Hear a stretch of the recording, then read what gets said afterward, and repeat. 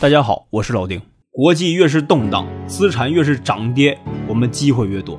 有能力、有运气的人就越会盆满钵满。从二零一八年到今天，经济反复震荡，资产价格涨跌互现，黄金暴涨，债市暴雷，股市进入过大跌的熊市，出来过暴涨的牛市。两三年的时间，就像走过了一轮周期一样。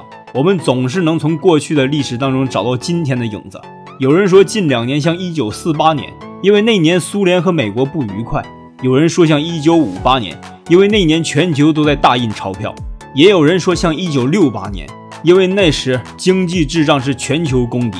我们不好说今天到底和什么时候更像，只能说某个时间点的时候确实有很多相似之处。本期视频我们来回顾一九五八年到一九六八年冷战巅峰时期的十年，古巴导弹危机，全球货币放水，经济刚刚复苏。美元面临危机，回看那十年，经济如何变化，股市怎样走势，机会曾经在哪儿，危险又在哪儿？对比今天，我们的机会又在哪里？一九五八年一月七号，全球最后一台蒸汽机车的车头在荷兰开进博物馆，蒸汽机车时代的终结，也同样吹响了新时代的号角。此时，马上到了二战后的第一个十年，各国的经济重建已经基本完成，全球经济在基建的扩张下高速增长了十年。但从一九五七年年中开始，美国经济开始掉头向下，二战后的第一次全球大衰退来了。为了应对衰退，美国从一九五七年末开始了各种宽松的货币政策。一九五七年十一月十四号，美联储开始第一次降息，利率从百分之三点五降低到百分之三。一九五八年四月十七号，又从百分之三降至百分之一点七五。为了提高居民信心，美国决定将证券交易保证金从百分之七十下降到百分之五十。同时，美联储决定三次下调商业银行存款保证金。可是，货币的大幅宽松并没有使宏观经济立即出现好转。美国第一季度 GDP 同比仍然下降百分之二点九，失业率达到近几年的峰值。但是，股市却出现企稳回升的现象。从一九五八年三月开始，美国大盘道琼斯指数开始企稳，并在四月，美股正式踏进牛市的门槛。所以，我们看市场总是领先于经济基本面。一九五八年六月时，美股两百家大型制造业企业利润同比下滑百分之四十，但美股大盘在四个月之内已经上涨了百分之十五。上面的这个现象是不是有点熟悉呢？二零二零年第二季度，美国 GDP 下滑百分之三十二点九，但是此时的美股却连创新高。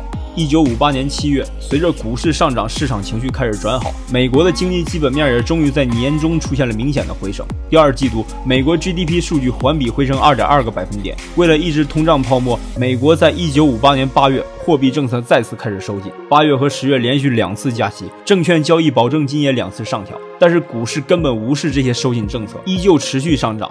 截止一九五九年年中，美国的基准利率已经加息至百分之三点五，美股却上涨约百分之三十五。很明显，经济开始复苏了。回看当时的股市上涨结构，是以电子消费为主，有点像我们今天的科技股。主流企业包括电话组件公司米罗华、照相设备公司宝利来，以及广播电视接收器制造公司真力时等。这一幕是不是有点像今天众多的科技设备公司呢？二零一七年开始，全球高科技企业进入牛市，至今很多企业的市值翻了三倍都不止。所以，当经济复苏时，多数情况下具有前景的科技股往往表现都会很好。一九五九年中旬，美国突然爆发了大规模的钢铁工人罢工运动，此时的工业生产指数增速开始出现下降，美股由涨转跌，道琼斯指数暴跌百分之十。但很快，一九五九年九月，赫鲁晓夫访美，全球政治局势缓和。十月，上市公司出财报，众多企业利润大增。十一月，罢工运动结束，由此，美股再次回涨。最终，一九五八年、一九五九年两年的时间里，美国股市总共上涨了百分之五十点四。美国民众在这段期间赚得盆满钵满。所以，人生发财靠康波。在大环境趋好的环境下，每一个身处时代中的人都是幸运儿。虽然美股上涨，但此时的美联储却仍在加息，基准利率已经到了四点零的水平。货币政策如此快的收紧，资本市场。开始有些扛不住了。没过多久，一九六零年，新的危机。历史的回顾总是会让我们对今天若有所思。美股在经历了两年的大牛市之后，在一九六零年年初开始大幅下跌，道琼斯指数从六百八十点跌到五百九十九点，下跌百分之十二。一九六零年年中，美国侦察机在苏联被击落，四国峰会上，美国总统拒绝为此道歉，最终谈话破裂，全球局势再度紧张起来。此时，股市里军工股出现大幅上涨。六月又爆发了刚果战争，此时美联储宣布降息至百分之三点五，市场顺应利好形成上涨。可是不久后，宏观工业数据增速却出现了负增长，与货币政策形成背离，又造成股市的大幅下跌。货币政策反反复复，一会儿紧一会儿松，一系列的事件让股市剧烈震荡，正如近两年的股市一样。所以，我们看到，当人们开始对局势紧张有预期的时候，往往最受欢迎的就是避险资产；当形势不明朗的时候，资本市场往往也是剧烈震荡。此时，不参与就是最好的参与。与此同时，一九六零年八月，美国与古巴的关系开始恶化，最终两国正式断交，市场情绪高度紧张。伦敦黄金价格暴涨到四十一点五美金每盎司，超过官价百分之十八点五。这里简单解释一下。在布雷顿森林体系之后，美元和黄金挂钩，固定官方价格三十五美元每盎司。所以，当此时市场上的黄金价格暴涨时，也就意味着美元大幅贬值。二战后的第一次美元信任危机爆发了。在一九六零年的九月、十月，美国股市遭到大幅抛售，创下全年新低五百六十四点。同年十一月八日，肯尼迪当选总统，美联储再次货币宽松，民众情绪开始缓和。借此机会，一九六一年年初，美国政府宣布禁止美国居民在世界上任何地方持有黄金。从此时开始，美元和黄金开始了加速脱钩的进程。至此，我们可以看到，多数情况下，黄金和美元基本上呈负相关。当美元上涨，则黄金下跌；当美元下跌，则黄金上涨。一九六一年，美苏两国开始相继恢复核试验。六二年年初，肯尼迪向国会提出申请，大幅增加国防建设和太空科研预算，国际局势进一步发酵。六二年三月，美股大跌，三个月的时间暴跌百分之二十七。IBM 的股价从一年前的六百零七美金跌到至今的三百美金，宝利来公司从高点二百六十二美金跌到八十一美金。此时的货币政策并没有收紧，虽然国际局势紧张，但和此前相比几乎是同等水平。可市场却出现了大幅下跌。从这里我们可以总结到，有时候很多大幅下跌并不需要什么合适的理由，可能仅仅是因为资金盘获利了结。所以，当在股市高涨且获利明显的时候，就应该卖出。一九六二年年中，美国开始救市，股市企稳。下半年，古巴导弹危机爆发。十月二十四号，美国封锁古巴海域，美苏局势达到顶峰。但此时市场虽有下跌，却仅仅是小幅回调。所以在悲观事件刚刚开始有预期的时候，才是市场真正暴跌的时候。当悲观事件达到顶峰时，往往是利空出尽，市场反而难以下跌。一九六二年年底，所有的利空消息就已经出尽了，美联储并再次开始降息降准，同时美国的大幅减税政策出台。从此时，投资者的春天正式到来，美国正式走入一段大牛市行情。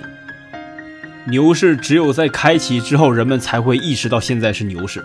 但其实，在牛市伊始，从宏观政策、资金走向、企业盈利等多个角度，早就已经可以看出端倪。一九六三年到一九六五年是美国在二战后开启的为数不多的大牛市之一。让我们回顾这段时期发生的事情，以此来对比我们的现在。六三年一月，肯尼迪总统向国会提交减税议案，建议个人所得税下降百分之六到百分之二十五。企业所得税下降百分之五，到了三月，工业生产指数增速出现明显的上涨。四月，汽车的产量环比增长百分之七。伴随着此前的利空出尽，此时又接连迎来利好，美股一发不可收拾。到了五月，道琼斯指数突破前高，一度达到七百二十七点。在这段行情里，市场情绪高涨，但并不是每个股票都在涨。领涨的板块有科技股、消费股、航空股以及部分轻工业企业。原因是从二战之后爆发了一波婴儿潮，至一九六三年，这波出生的人口刚好十八岁，青年人群的大幅增加，直接带动了汽车、消费电子、纺织、商贸零售等消费品需求的暴涨。希尔斯百货公司在这场牛市里股价翻了三倍，纺织企业伯灵顿也成为当时的大牛股。但是另一边，众多周期新能源股却走势极差。相反，在二战刚刚结束的一九四五年起的十年间，周期股和能源股是暴涨的，但那时的消费股普遍不行。所以由此我们可以总结，在基建扩张时，周期股、能源股普遍走势强势；但是当进入到繁华的盛世时代，往往消费股会出现大牛的走势。就像我们中国在二零一五年去产能之前，周期股往往是牛市龙头。可是近些年基建投资相对增速放缓，国内消费占 GDP 的比重越来越多，很多消费股成为了近些年的牛市的领头羊。一九六三年十月，美联储货币紧缩，一个月后，肯尼迪总统被刺杀身亡，股市在十一月二十二号开盘即大跌。可是，即使如此重大的事件，此时的股市非但没有出现持续的下跌，反而走出了一个深微的反弹走势。随后便一路向上，最终一九六三年道琼斯指数收于七百六十三点，创下新高。一九六四年年初，美国军队与巴拿马群众冲突，两国断交。八月，美国两艘驱逐舰受到北越的攻击，越南战争全面升级。十月，苏联发生政变，赫鲁晓夫下台。不久，我国第一颗原子弹爆炸成功。这段时间里，林林总总的悲观事件不断涌出，但依然阻止不了股市的加速上涨。所以说，当情绪高涨到一定程度的时候，任何负面消息都会被掩埋。在牛市里，利空消息往往被称作利空出尽；在熊市里，利好消息也会被恐慌吞噬。后来，时间进入一九六五年，股市依旧呈现上涨的态势。可三月八号，美国海军陆战队登陆越南建港，美国全面进入越南战争。战争的持续支出让美国的贸易赤字越来越严重。伴随着越南战争的不断持续，长时间的军费消耗使得国内的通胀压力开始显现，CPI 开始走高。此前宏观 CPI 均值在一点三左右，而此时已经超过了百分之三。一九六五年六月一号，美联储主席发表讲话，警告说国内通胀的危险以及国际收支不平衡的问题可能是永久性的。此番言论给市场带来了极大的动荡，原本持续上涨已经多年的股指像惊弓之鸟一样开始剧烈波动，但最终在一九六五年年末，道琼斯指数仍然收在最高点。可之后，股指便开启了单边暴跌的走势，一场大熊市伴随着新一轮的经济衰退滚滚而来。当市场临近尾声，并不是没有预兆，在经济衰退之前，货币便已经开始紧缩。股市也开启了下跌，正如我们此前牛市来临一样，熊市来临时也并不是真的宏观经济指标出现拐点的时候，因为市场总是领先于经济指标的。从1965年10月道琼斯指数触达962点之后，到了12月。股指明显出现涨不动的迹象，此时的货币政策也开始进入紧缩，但此时仍有通胀压力。美联储选择加息，将贴现利率从四点零上升至四点五。一九六六年年初，美国经济几乎达到繁荣的顶点，失业率创下新低，几乎接近完全就业。由于通胀问题还在持续加剧，货币政策也还在持续紧缩，此时市场上的利好几乎出尽了，利空开始出现越来越多的时候，股指便掉头向下。从年初的最高点一千零一点，一直跌了大半年，全年跌幅已经超过百分之二十。不仅股市在下跌，美国的黄金储备也在不断流失。截止一九六六年年末，黄金储备降至一百三十一点六亿美元。然而祸不单行，此时第三次中东战争爆发了，美国财政再一次面临资金难题。最终，一九六七年六月，联邦政府再次提高债务上限，从三千三百六十亿美金提高到三千五百八十亿美金。美国的大笔负债为之后的美元危机再次埋下了种子。一九六七年，衰退持续加剧。历史上，每一当经济走向衰退，都容易引发社会动荡。此时，上市公司的盈利增速从去年的百分之十下滑到百分之一。最终，在七月六号，美国还是发生了大规模的铁路工人罢工运动。现实如此残酷，但是股市却没有受到太大的影响。道琼斯指数一直是反反复复的震荡行情，展现在具体板块上，汽车、纺织、零售等板块出现大幅下跌，但是电子股却依然强势。以此再回看二零二零年的今天，美国因为新冠疫情已经确诊了五百万人，不仅发生了大规模的暴乱罢工，而且大批量的实体企业也都在破产边缘岌岌可危。可美国股市和那时一样，却走出了一波科技牛市，苹果、亚马逊、特斯拉、微软均创下历史新高。所以有很多时候，股价是可以脱离基本面的，不一定是基本面不好，股价就不会涨。水牛是经常会出现的。时间继续回到一九六七年，进入下半年，股市基本企稳，但是汇率市场却出现大幅波动。十一月十八号，英镑单日贬值百分之十四点三，英镑危机也使得黄金价格遭受挑战。为了稳住黄金，全球央行不敢再进行放水，随即而来的就是各国再一次的加息潮。但是。黄金和美元的固定价格机制天然存在问题，终于，黄金美元的危机又爆发了。黄金美元的设立之初，这就是行不通的。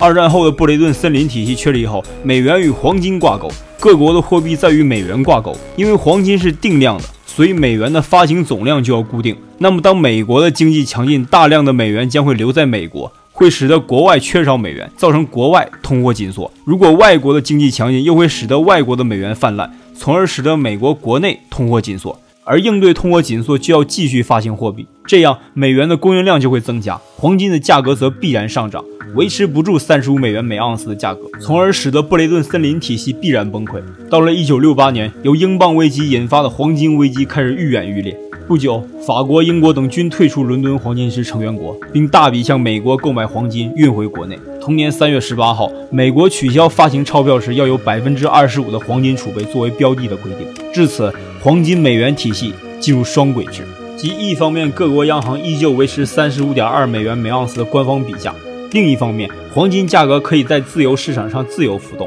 此时，美国总统再次面临大选。一九六八年十一月十五号，尼克松当选美国总统。几年后，他终结了黄金美元时代。至此，总结一下我们上面的几个观点：一、市场总是领先于经济基本面；二、当经济复苏时，多数情况下具有前景的科技股往往表现会更好；三、人生发财靠康波，在大环境趋好的环境下，每个人赚钱都是很容易的。四，当人们开始对局势紧张有预期的时候，往往是最受欢迎资产，是避险资产。五，当形势不明朗的时候，不参与就是最好的参与。六，黄金和美元基本上呈负相关，多数时候当美元上涨，则黄金下跌；当美元下跌，则黄金上涨。七，有时候很多大幅下跌并不需要什么合适的理由，可能仅仅是因为资金盘获利了结。所以，当股市高涨且获利明显的时候，你就应该卖出了。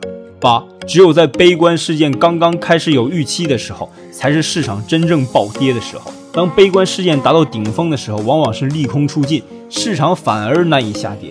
九，在基建扩张时，周期股、能源股普遍走势强势，但是当进入到繁荣的盛世时代，往往消费股会出现大牛的走势。十，当情绪高涨到一定程度的时候，任何负面消息都会被掩埋。在牛市里，利空消息都能被称作利空出尽；在熊市里，利好消息也会被恐慌吞噬。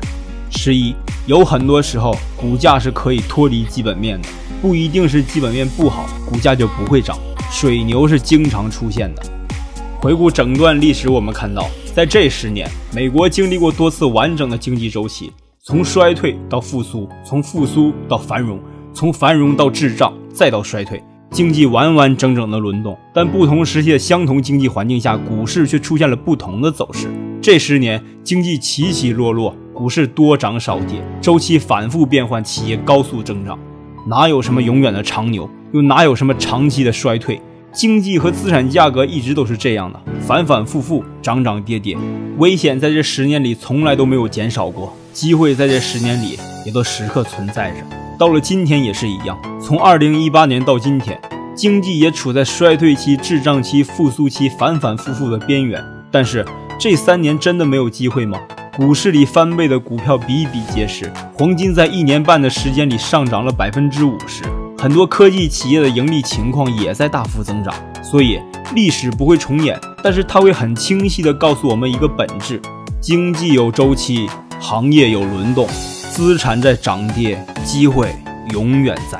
历史虽有不同，但又总会反复重演。老丁是个生意人，朋友们，下期见。